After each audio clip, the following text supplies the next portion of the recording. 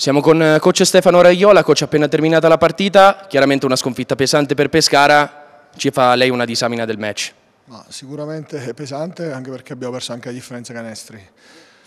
Sinceramente ho da dire solo che dobbiamo farci un grande bagno di umiltà tutti insieme, io per primo, ma anche i ragazzi si devono fare un grande bagno di umiltà perché avevamo preparato tante cose in, in, in allenamento, ci alleniamo, devo dire, abbastanza bene, bene, possiamo fare meglio ma non ci alleniamo male, però dopo ci vuole la forza, l'energia per fare determinate cose anche all'interno di una partita importante, su un campo importante, con un pubblico importante, quando due punti contano tanto. E noi purtroppo abbiamo fatto tante distrazioni, ho visto tanti egoismi, tant'è vero che abbiamo tirato col 28% dal campo e col 28% dal campo non vinciamo da nessuna parte, quindi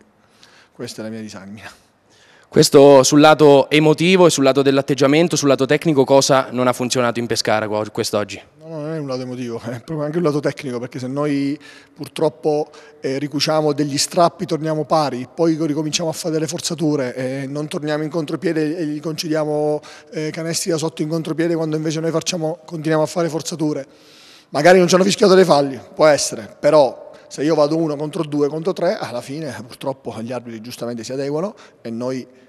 eh, facciamo delle scelte sbagliate, facciamo tante palle perse, facciamo una percentuale dal campo ridicola perché tirare col 28% a questo livello non posso vincere da nessuna parte, quindi ripeto, un grande bagno di umiltà. Eh,